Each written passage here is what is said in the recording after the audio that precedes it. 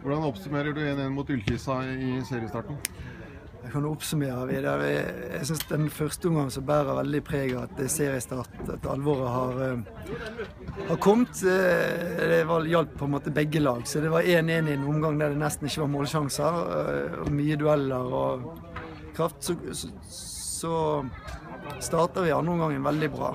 Uh, da føler jeg at da, da, har vi kampen der vi vil.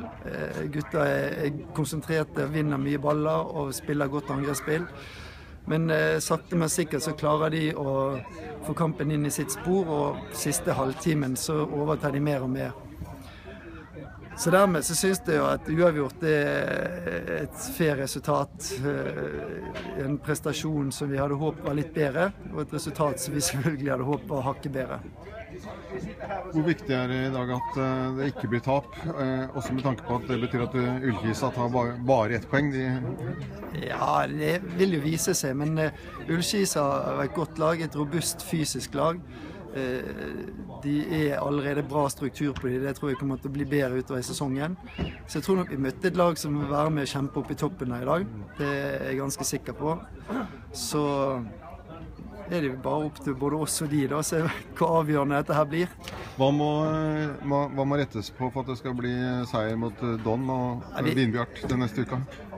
I den grad det er lov å være skuffet i dag, så er det jo over det at vi slipper taket på den andre omgangen. At ikke vi er mer markante når vi har ball i laget.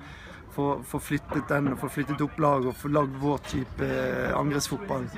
Det håper jeg vi klarer å mane fram på onsdag og neste helg når Obos-ligaen fortsetter. Så alltid, i, i, dag så er du mer fornøyd med, med resultatet enn presentasjonen? Jeg synes Det er vanskelig å si i dag hva du er mest fornøyd med. Vi, sånn, vi hadde håp å vinne, og vi gikk for å vinne, og det klarte ikke vi. Eh, prestasjonen var veldig vi, periodevis bra, men avslutningen på kampen var sånn at vi skal være glad vi fikk det ene poenget. Han som ble kåret til Arendalsbeste i dag, Kai Risholt, sa at uh, hvis, uh, hvis, vi hadde fullført med elleve mann, så hadde vi vippa det.